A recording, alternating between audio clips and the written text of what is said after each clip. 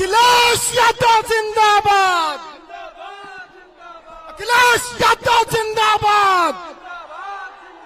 अखिलेश यादव जिंदाबाद। अखिलेश यादव जिंदाबाद। समाजवादी पार्टी जिंदाबाद। समाजवादी पार्टी जिंदाबाद। Clash Yadav Zindabad! Zindabad! Zindabad! Clash Yadav Zindabad! Zindabad! Zindabad! Clash Yadav Zindabad! Zindabad! Zindabad! Clash Yadav Zindabad! Zindabad! Zindabad! Zindabad! Zindabad! Zindabad! Samajwadi Party Zindabad! Zindabad! Zindabad! Clash Yadav Zindabad! Zindabad! Akhilesh Yadav जिंदाबाद। अखिलेश यादव जिंदाबाद। Samajwadi party जिंदाबाद। Samajwadi party जिंदाबाद। Akhilesh Yadav Samajwadi party. Akhilesh Yadav Samajwadi party. Netaji अमर रहे अमर रहे अमर रहे नेताजी अमर रहे अमर रहे अमर रहे इनकलाब इनकलाब इनकलाब इनकलाब अखिलेश यादव जिंदाबाद जिंदाबाद जिंदाबाद अखिलेश यादव जिंदाबाद जिंदाबाद समाजवादी पार्टी जिंदाबाद जिंदाबाद जिंदाबाद समा- अब कार्यक्रम हो जाए साथियों, जो घोसी विधानसभा की तरफ़ से घोसी विधानसभा की जनता की तरफ़ से, सभी सेक्टर के प्रभारियों की तरफ़ से, और सभी नगर अध्यक्षों की तरफ़ से, चेयरमैनों की तरफ़ से, समाजवादी पार्टी की तरफ़ से, आदरणीय राष्ट्रीय अध्यक्ष जी का बड़े माले से स्वागत होगा।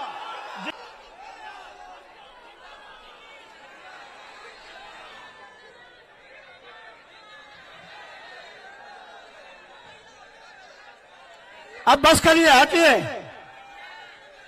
चलिए रहने दीजिए हो गया। हो गया। आइए, हट जाइए अब आप लोग। हट जाइए। साथियों, अब मैं सीधे अपने महबूब नेता, गरीबों के हमदर्द, नौजवानों के रूहे रमा हम सबके नेता आदरणीय अखिलेश यादव जी को बिना किसी आमंत्रित करना चाहता हूँ कि संबोधन करें। अखिलेश यादव जिंदाबाद। अखिलेश यादव जिंदाबाद। अखिलेश यादव जिंदाबाद। अखिलेश यादव जिंदाबाद। उठाइए दोनों हाथ एक बार और जोरदार तालियाँ बजा के स्वागत। देश के नेता देश के नेता आदरणीय अखिलेश यादव जी के लिए। एक बार जो ए, आवाज़ बढ़ाओ उसकी।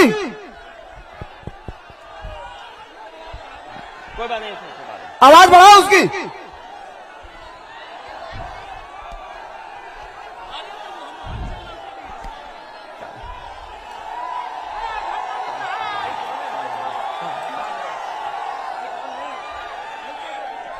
मैं सबसे पहले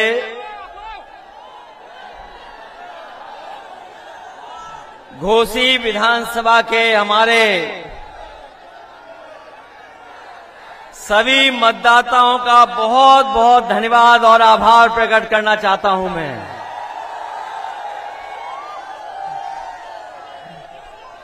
मैं देख रहा हूँ, जितना बड़ा मैदान हमें दिखाई दे रहा है उससे ज़्यादा हमें लोग चारों तरफ़ दिखाई दे रहे हैं। इस मैदान का कोई कोना खाली नहीं है।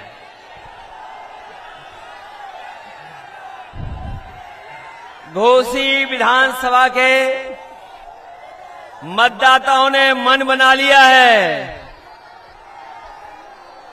जो पलायन करने वाले हैं जिन्होंने पलायन किया है। और लोकतंत्र में जो वोट का विश्वास तोड़ा है, इस बार घोसी विधानसभा की जनता उन्हें सबक सिखाने जा रही है।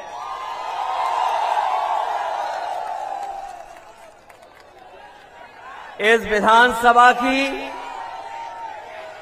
कोई अब सुध लेगा। इस विधानसभा की सुध लेने वाला अगर कोई है तो वो सुधाकर। सुधाकर सिंह जी। ये आम लोगों के प्रत्याशी हैं, आपके प्रत्याशी हैं। आपके बीच के हैं। ये चट्टी चौराहे पर जहाँ चाहो वहाँ रोक लो, ऐसे नेता हैं। आपके बीच के हैं, जिन्होंने मतदाताओं को धोखा दिया था। उनको सबक सिखाने के लिए ये जो जन समर्थन दिखाई दे रहा है, ये बता रहा है कि सुधाकर सिंह इस बार ऐतिहासिक वोटों से जीतने जा रहे हैं। मैं कई दिनों से लगातार घोसी विधानसभा में प्रचार जो हो रहा उसको देख रहा हूँ। कोई नेता बीजेपी का जो मंत्री है, शायद कमी मंत्री बचे होंगे जिन्होंने घोसी में आने का काम नहीं किया हो। घोसी में मंत्री, एक मंत्री, दो मंत्री, तीन। न जाने कितने मंत्री आए हैं। और यहाँ पर जितने लोग खड़े हैं, वो जानते होंगे कि एक मंत्री एक किसान के हाथ को पकड़ करके खेतों में घूम रहे थे। मंत्री जी से ने पूछा कि यहाँ पर कौन जीतने वाला है? पहले तो ज़्यादा वोटों से इस बार जिताओगे। पहले हज़ारों से जीते थे, इस बार उससे ज़्यादा जीतेंगे। जो मंत्री किसान का हाथ पकड़े जा रहे थे उन्हें लगा कि किसान उनके धोखे में आ जाएगा, उनके जुबलों में फंस जाएगा। लेकिन मैं बधाई देना चाहता हूँ उस पत्रकार को, मंत्री जी के जाने के बाद जिन्होंने हाथ पकड़ करके अपने खेतों में घुमाया था, जब पत्रकार साथी ने पूछा कि कौन जीतेगा यहाँ से, वो गरीब किसान गाँव में रहने वाला हमारा उसने कहा कि सुधाकर यहाँ से हज़ारों वोटों से जीत करके जाने वाले हैं। ये मंत्री अपनी उपलब्धि नहीं बता रहे जिस मंत्री ने किसान का हाथ पकड़ा था, तमाम मंत्री आ रहे हैं धोखा देने। अपनी उपलब्धियाँ नहीं बता रहे यहाँ करके वो किसान जो अपनी पैदावार की चिंता में डूबा है, उसकी फ़सल की कीमत कैसे मिले? ये मंत्री जो घूम रहे सरकार के, वो ये नहीं बता पाए कि डीजल सस्ता मिलना चाहिए किसान को। खाद, कीटनाशक, दवाई, और जब हमारे किसान की पैदावार तैयार हो जाए तो ये बीजेपी के लोग बताना भूल गए कि लाल किले से लेकर के मंचों तक कहा था कि हमारे किसान की पैदावार जो होगी उसकी आय हम दोगुनी कर देंगे। यहाँ हमें दिखाई दे रहे हैं, या किसान बताओ, ये डबल इंजन की सरकार वालों ने किसी किसान की आय दोगुनी की हो तो बताइए। ये लोग कह रहे डबल इंजन। डबल इंजन से कुछ नहीं होता। इंजन का ड्राइवर अच्छा होना चाहिए। हमें वो ड्राइवर नहीं चाहिए इंजन का, जो इंजन छोड़ करके ड्राइवर भाग गया हो। हमने अपने बीच का नेता चाहिए, हमें अपने बीच का नेता। ये लोग, जो दूर दूर से घोसी में चल करके आए हैं,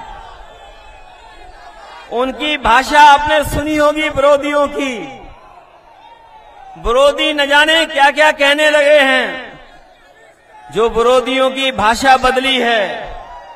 वो इसीलिए बदली है कि यहाँ का किसान, यहाँ का गरीब, यहाँ का नौजवान सब जाति, धर्म तोड़ करके साइकिल के साथ और समाजवादी पार्टी के प्रत्याशी सुधाकर सिंह के साथ खड़े दिखाई दे रहे हैं।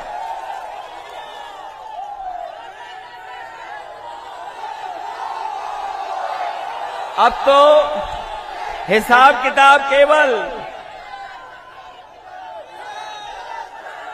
हिसाब किताब। इस बात का नहीं है। हिसाब किताब तो बीजेपी को दिल्ली की 10 साल की सरकार और उत्तर प्रदेश की 6 साल की सरकार का देना है। बताओ घोसी की जनता, इन 16 सालों में क्या आपको कोई सुविधा दे पाई है बीजेपी के नहीं दे पाई है? अगर बीजेपी के लोगों ने सुविधाएँ दी होती तो आज इतनी मंत्रियों की फौज उन्हें नहीं उतारनी पड़ती यहाँ पर। इतने जो मंत्री आए हैं, वो अपना काम नहीं बता रहे। वो कुछ और इंतज़ाम में लगे हुए हैं। अकेले में जाकर के कुछ और इंतज़ाम कर रहे हैं। बताओ इंतज़ाम को। जो इंतज़ाम कर रहे हैं, कहीं उसके धोखे में तो नहीं आ जाओगे आप लोग। चुनाव से पहले ये जनता में जब हार गए हैं तो प्रशासन को आगे कर देंगे। ये प्रशासन के लोग चुनाव लड़ना चाहते हैं। लेकिन हमें पता है, घोसी की बहादुर जनता है। ये प्रशासन से तो नहीं घबरा जाएगी। अगर आपको मुकाबला भी करना पड़े तो अपने वोट के अधिकार के लिए मुकाबला करना, क्योंकि घोसी विधानसभा का संदेश केवल उत्तर प्रदेश के लिए नहीं है। घोसी विधानसभा के एक एक वोट का संदेश देश में जाने वाला है, क्योंकि देश में कहीं और चुनाव ऐसा नहीं होने जा रहा है। कम से कम ये संदेश घोसी की जनता दे कि जिन्होंने कोई काम नहीं किया है, कोई काम नहीं किया है उनको सबक सिखाने का काम करेंगे अपने वोट दे करके। वैसे तो पलायन लोग करते अपने काम रोज़गार के लिए, नौकरी के लिए। लेकिन ये तो पहले विधायक दिखाई दे रहे हैं, जो अपने स्वार्थ में पलायन कर रहे हैं, अपने लाभ के लिए पलायन कर रहे हैं। क्या ये जनता को सुविधा देने के लिए पलायन कर रहे हैं कि अपने लिए पलायन कर रहे हैं? ये अपने लिए इसलिए कर रहे हैं क्योंकि ये अपना स्वार्थ देख रहे हैं। जो अपना स्वार्थ देख रहे हैं, वो आपके जीवन में बदलाव नहीं ला सकते। अगर इन्होंने जीवन में बदलाव लाते आपके तो कहीं न कहीं आपको सुविधाएँ देते। ये सरकार ऐसी है, जहाँ गरीब को इलाज नहीं मिल पा रहा है, दवाइयाँ नहीं, अस्पताल में चले जाओ तो डॉक्टर देखने वाले नहीं हैं। जो कुछ है, गरीब को अपने हाल पे छोड़ दिया। जो एंबुलेंस चली थी आपकी सरकार में, उस एंबुलेंस को भी बर्बाद कर दिया। कम से कम इनकी ज़िम्मेदारी बनती थी कि अगर गरीब के गाँव में पहुँचा के मदद करने के लिए अगर एंबुलेंस थी तो कम से कम ज़्यादा एंबुलेंस चलाते जिससे गरीब की मदद हो जाती। इलाज और तकलीफ़ और परेशानी में वो आपकी मदद करती। लेकिन उस व्यवस्था को भी बर्बाद कर दिया। ये जो बिजली भी आ रही है आपके बीच में, केवल चुनाव के लिए आ रही है। और जो बिजली आ भी रही है, जिनके यहाँ मीटर लग गए, बताओ कितने का बिल आ रहा है आपके यहाँ पर? बिल आ रहा हज़ारों का। और अगर बिल नहीं दे पा रहे हो तो नोटिस आ रहा है साथ साथ नोटिस और महँगाई कहाँ पहुँच गई है? जो कभी फ्री दिया था सिलेंडर, बताओ आज उस सिलेंडर की कीमत क्या है? कीमत कहाँ पहुँच गई?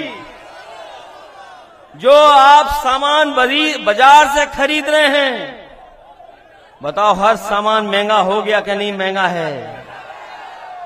ये बीजेपी के लोग गरीब की जेब से पैसा निकाल करके अमीरों की तिजोरी भरने का काम कर रहे हैं। और जो सुविधाएँ गरीबों को मिलनी चाहिए, उन सुविधाओं को छीनने का काम कर रहे हैं। क्या घोसी की विधानसभा इतिहास बनाने जा रही कि नहीं जा रही, बताओ आप। ऐसा चुनाव शायद ही उत्तर प्रदेश में देखने को मिला होगा। जहाँ पर समाजवादी पार्टी के प्रत्याशी के लिए जाति, धर्म से लेकर के सब सीमाएँ टूट गईं। अगर जाति, धर्म की सीमाएँ टूटी हैं तो दलों के भी सब बंधन टूट गए। जो दल कभी हमलों के खिलाफ थे, आज सब दल समर्थन कर रहे हैं समाजवादी पार्टी का। हम उन दलों को बधाई देते हैं कि जो समाजवादी पार्टी के साथ खड़े होकर के समाजवादियों का साथ दे रहे हैं। कि ये महत्वपूर्ण लड़ाई है, कोई छोटी बड़ी लड़ाई नहीं है। ये बड़ा फैसला होगा आपका। और ये ऐसा फैसला है जो देश की राजनीति में भी बदलाव लाएगा।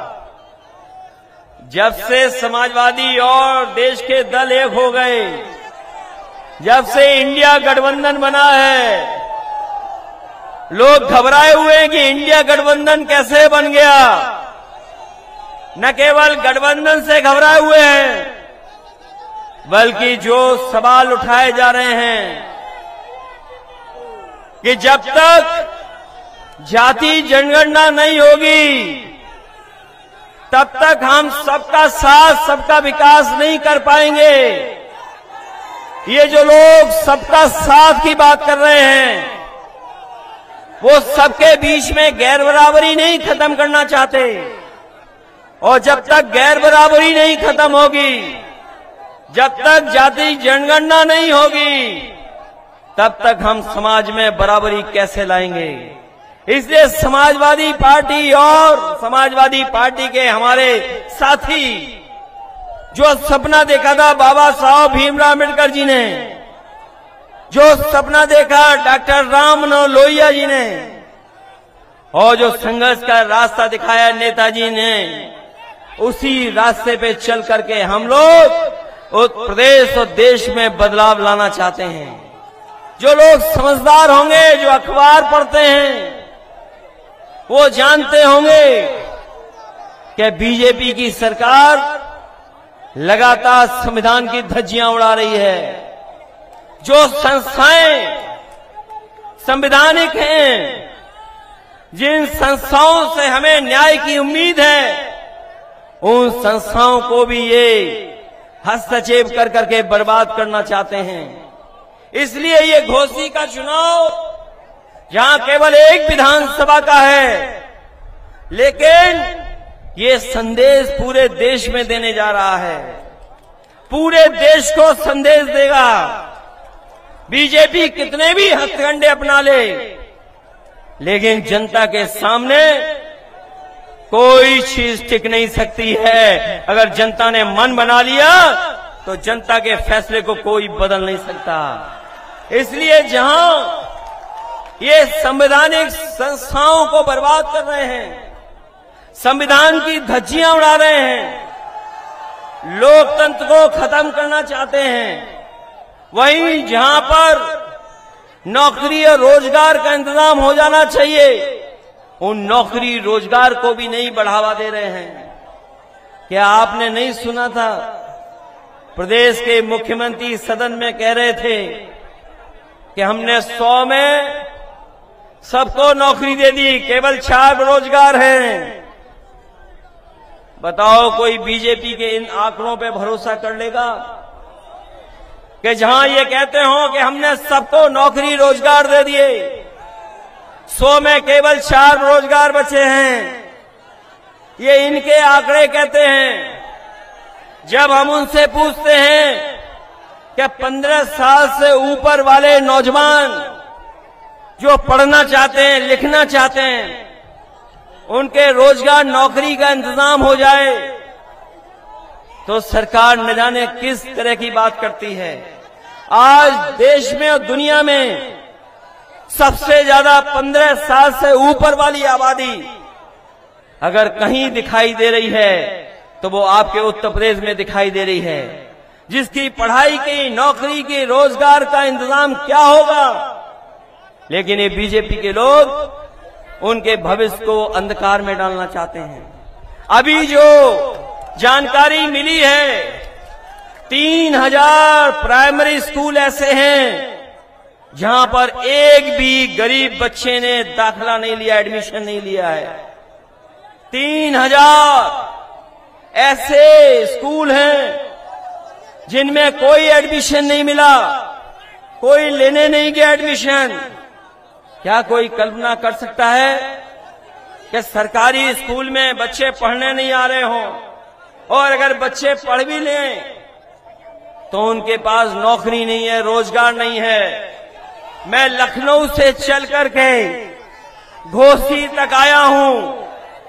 जो लोग कहते थे कि 33 लाख करोड़ उत्तर प्रदेश में निवेश होने जा रहा है पैसा मुझे ये बीजेपी वाले बताएँ, लखनऊ से लेकर के घोसी विधानसभा तक और घोसी विधानसभा के आखिरी बॉर्डर तक और यूपी की सीमा तक, अगर कहीं एक भी कारखाना लगा हो तो बता दो हमें।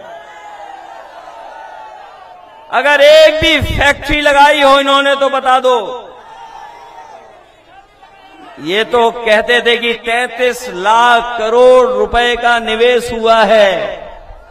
लखनऊ से लेकर के घोसी और घोसी विधानसभा से लेकर के आखिरी बॉर्डर यूपी के, अगर एक भी कहीं कारखाना इन्होंने लगाया हो तो बता दो हमें।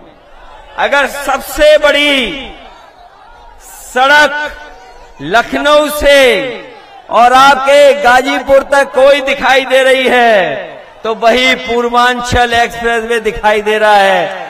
कोई दूसरा बड़ा प्रोजेक्ट नहीं दिखाई दे रहा है।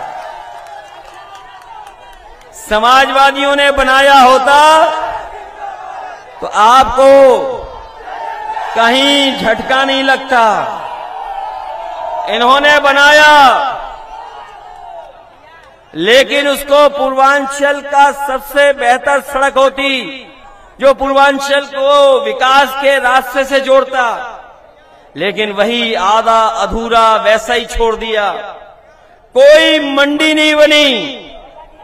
अगर मंडी बनी होती तो हमारे किसानों की पैदावार को हम लोग कीमत दे सकते थे। कोई मंडी नहीं बनी। अगर मंडी बनी होती तो हमारे किसान को उससे कीमत मिल जाती। किसान को की फ़सल की कीमत मिलती। आज जो भी जा रहा है, किसी और के हाथ में चला जा रहा है। ये जो नौजवान दिखाई दे रहे हैं, बड़ी संख्या में, इनके भविष्य के साथ बीजेपी खिलवाड़ कर रही है। और न केवल इन नौजवानों के भविष्य के साथ खिलवाड़ कर रही है, बल्कि आने वाली पीढ़ी के साथ भी खिलवाड़ कर रही है। क्योंकि अगर इनका भविष्य नहीं बना तो बताओ, आने वाली पीढ़ी का भविष्य क्या होगा? न इनके हाथ में नौकरी है, न रोज़गार है।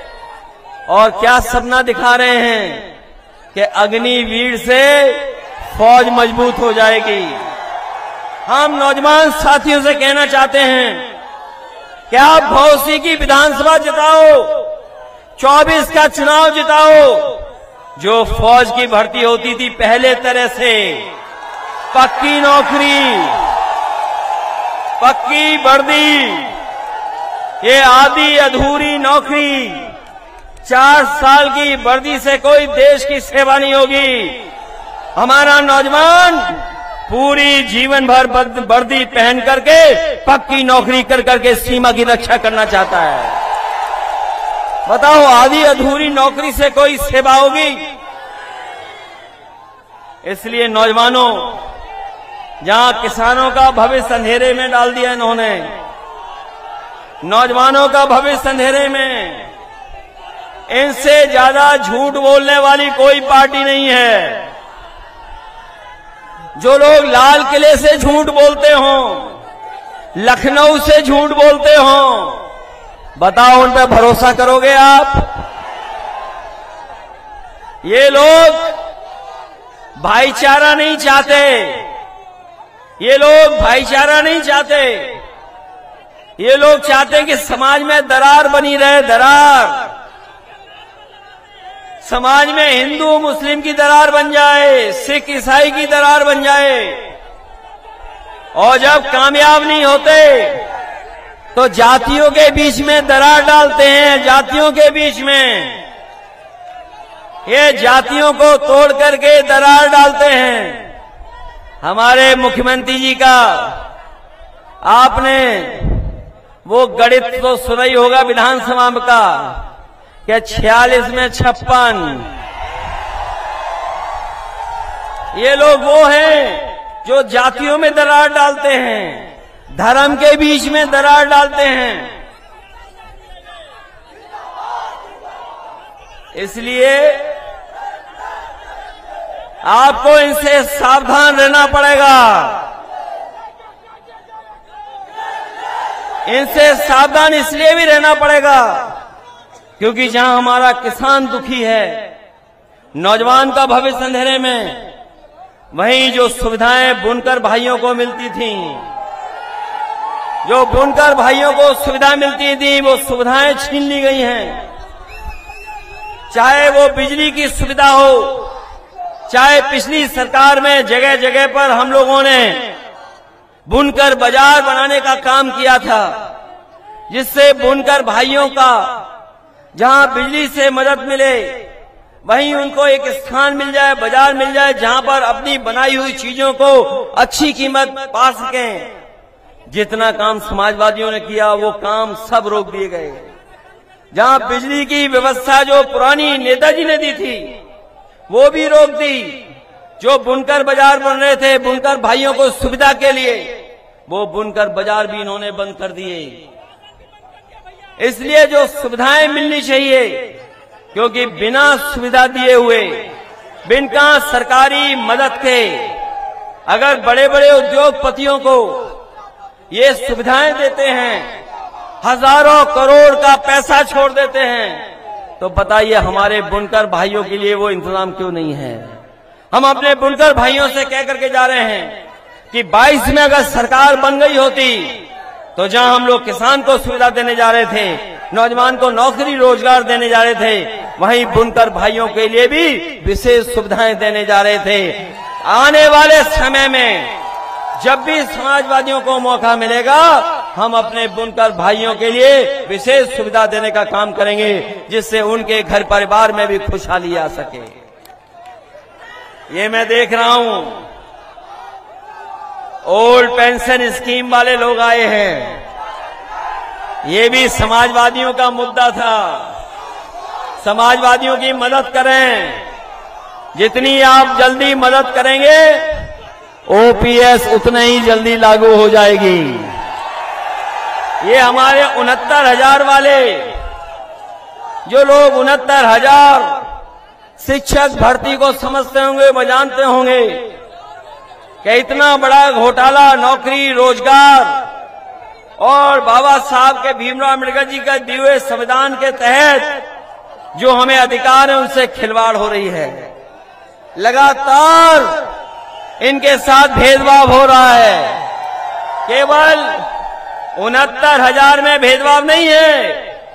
जितनी भी सरकारी संस्थाएँ हैं, उन सब पर भेदभाव करने का काम कोई कर रहा है तो वो भारतीय जनता पार्टी के लोग कर रहे हैं। जो लोग कहते हैं कि हम लोगों ने भेदभाव किया है, वो बताएँ जो संस्थाओं में बैठे लोग हैं, जो संस्थाएँ आज बीजेपी के समय पर उनके पास पहुँच गई हैं उन संस्थाओं में किन लोगों को बैठाया है? किनको बैठाया है उन संस्थाओं में? उन संस्थाओं में हमारे आपके लोग नहीं हैं। वो ऐसे लोग हैं जो हमारे आपके भविष्य को भी आगे नहीं बढ़ने देना चाहेंगे। इसलिए लड़ाई बड़ी है और ये लड़ाई केवल घोसी विधानसभा के संदेश की नहीं है। ये 24 के चुनाव के लिए भी संदेश है। इसलिए पहले तो ये कुछ वोटों से रह गए थे। और कुछ वोटों से पीछे रह गए थे। पिछली बार चुनाव भी नहीं लड़ा पाए। क्योंकि हमें बाहर से भी लोग लाने पड़े। बाहर से भी लोग लाने पड़े इस उम्मीद से कि सब मिल जाएँगे तो हम सरकार बना ले जाएँगे। लेकिन हमें नहीं पता था कि स्वार्थ के लिए कुछ लोग कुछ भी कर सकते हैं। जहाँ वो उन्हें दिखाई देगा, कुछ स्वार्थ उसी तरफ़ चले जाएँगे। सुधाकर सिंह जी मामूली वोटों से रह गए थे पिछली बार। वो भी बाई इलेक्शन था। लेकिन ये बाई इलेक्शन अलग तरह का है। सुधाकर सिंह के अलावा और साइकिल के अलावा कुछ दिखाई नहीं दे रहा है। केवल हम लोगों को, हम लोगों को इतना ध्यान रखना है कि वोट तो है हमारे पास, लेकिन ये वोट पड़ना चाहिए। मैं इसीलिए आया हूँ आपसे अपील और निवेदन करने कि हमारे आपके पास समर्थन है, सहयोग है सबका। यहाँ जितने लोग बैठे हैं उस कोने से लेकर के इस कोने तक। जहाँ अपनी पार्टी के लोग हैं, दूसरे दल के भी लोग हैं, दूसरे संगठन के लोग भी हैं, वो भी समर्थन कर रहे हैं। कोई जाति धर्म नहीं बचा जो आज समाजवादी पार्टी और सुधाकर सिंह के साथ खड़ी ना हो। इसलिए केवल आपको अपना वोट बचाना है और वोट डालना है। अभी जब चुनाव करीब आएगा, बीजेपी के लोग घबराएँगे तो प्रशासन को आगे कर देंगे, पुलिस को आगे कर देंगे। सुना है कि जिन इलाकों में समाजवादी पार्टी का वोट ठोस है, वहाँ पर नौजवानों को परेशान कर रहे हैं, घरों में घुस रही है पुलिस। अरे, प्रशासन के लोगों, ये काम मत करो आप। ये काम ठीक नहीं है। क्योंकि प्रशासन के लोग भी अंदर ही अंदर कह रहे हैं, जीत तो सुधाकर ही रहे हैं, जीत तो साइकिल ही रही है। इसलिए किसको खुश करने के लिए आप, किसको खुश करना चाहते हो? इसलिए कम से कम हमें उम्मीद है कि प्रशासन निष्पक्ष काम करेगा। और याद रखना, हमारे मतदाता भाइयों, नौजवानों, बुज़ुर्गों, हमें पता है कि मैनपुरी के चुनाव में भी बड़ा प्रशासन कुछ कुछ गणित लगा रहा था।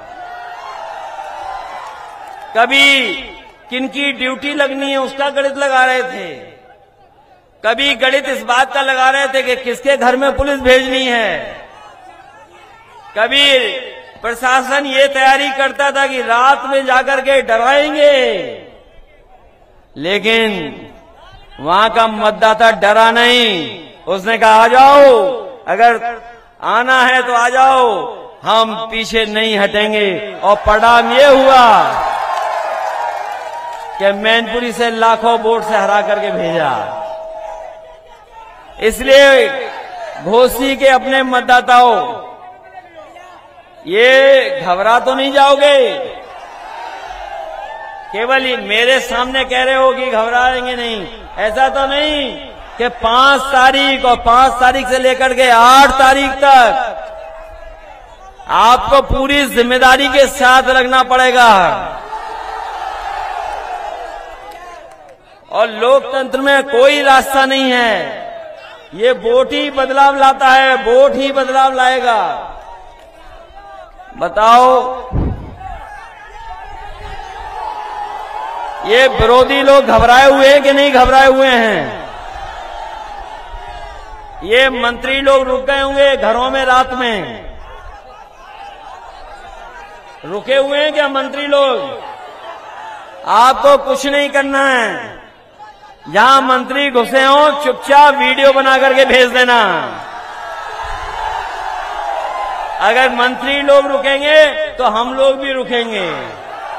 हमारे नेता भी रुकेंगे। अगर मंत्री रुकेंगे तो हमारे नेता भी रुकेंगे। मंत्री छोड़ जाएँगे जिला तो हम लोग भी चले जाएँगे। इसलिए मैं जान रहा हूँ बहुत जोश है यहाँ पर। बहुत उत्साह है। और ये वो जोश उत्साह ऐसा है कि जो ठंडा नहीं होने वाला है पाँच तारीख तक। मैं जानता हूँ जितना पसीना आपको आया है, उससे ज़्यादा हम लोगों को भी आ रहा है।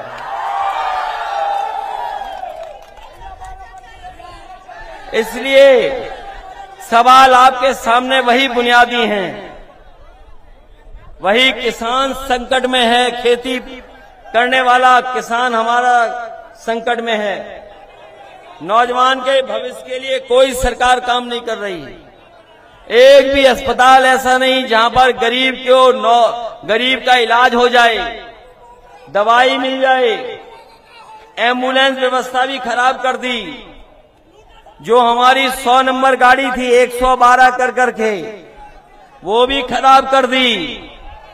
उसमें भी कोई व्यवस्था बदली नहीं। और आज तो ऐसा माहौल है कि जहाँ पर हर वर्ग के लोग आपके समर्थन में जुड़ गए हैं। कोई कोई जाति नहीं बची। कोई कोई वर्ग नहीं बचा कोई वर्ग नहीं बचा जो आपके साथ खड़ा ना हो गया हो। इसलिए सुधाकर सिंह ही सुधार सकते हैं इस विधानसभा को। यही सुधार लाएँगे, यही सुध लेंगे। आपकी बताओ, आपकी सुध लेने वाला कौन है? और यही तो है, जहाँ चाहे वो मिल जाएँगे आपके बीच के हैं। इसलिए जिताइए इन्हें। आप जिताओगे इन्हें। ये मान लें कि अपना बूथ और अपने गाँव में सबसे ज़्यादा वोट इनके पक्ष में आप पड़वाएँगे। मैं धन्यवाद देना चाहता हूँ। अपने जोन प्रभारी, सेक्टर प्रभारी, सह प्रभारी प्रवेक्षक जो लगातार लोगों को समझा रहे हैं, लोगों को जोड़ रहे हैं, मैं अपने तमाम संगठन के लोगों को कहूँगा कि आज के बाद केवल अपने आसपास ठीक रखें और वोट डालने का इंतज़ाम करें। वहीं जहाँ मैं इन पदाधिकारियों का धन्यवाद देता हूँ। वहीं हमारी पार्टी के बड़े नेता यहाँ पर मंच में हैं। प्रदेश अध्यक्ष जी से लेकर के बलराम यादव जी, लालजी वर्मा, राम राजभर जी, राजेंद्र कुमार जी दयाराम पाल जी, मिठाईलाल भारती जी, ओम प्रकाश सिंह चंदेव यादव, राजीव राय जी, काजल निषाद, डॉक्टर राजपाल कश्यप रामा से विश्वकर्मा जी, अल्ताफ अंसारी जी, हाजी इरफान राम जतन राजभर कमलाकांत राजभर बिचई सरोज, मनु अंसारी महेंद्र चौहान धर्मे धर्म प्रकाश दूधनाथ यादव जी श्रीचंद तिरवन दत्त जी, काशीनाथ जी, आलम बदी जी, नफीस, दुर्गा यादव, अमरेश चंद जी, और हमारे तमाम समाजवादी पार्टी के सभी वरिष्ठ नेता जिनके मैं नाम नहीं ले पा रहा हूँ, जो मऊ के हैं इस विधानसभा के हैं। उन सबका मैं धन्यवाद और आभार प्रकट करना चाहता हूँ। वहीं महिला संगठन से लेकर के बहुत सारे पदाधिकारी हैं। मैं उनका धन्यवाद देता हूँ। या हमारे फौज के लोग भी दिखाई दे रहे हैं। मैं सैनिक प्रकोष्ठ के लोगों का भी धन्यवाद देता हूँ। और आए हुए किसान भाइयों का, नौजवानों का, बुनकर भाइयों का, मैं उन सबका धन्यवाद देता हूँ। और आप सबसे इस उम्मीद और इस भरोसे के साथ कि पाँच तारीख को घोसी विधानसभा का परिणाम समाजवादी पार्टी के पक्ष में होगा। आपको केवल अपना वोट डालना है। आसपास के लोगों को समझा करके मदद मांगनी है।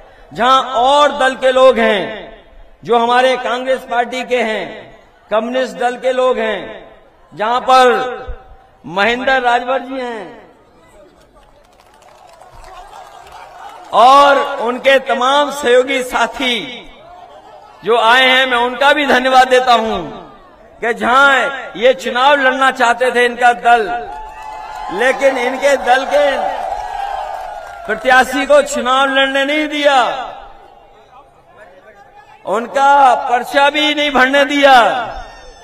ये बीजेपी का नया तरीका है।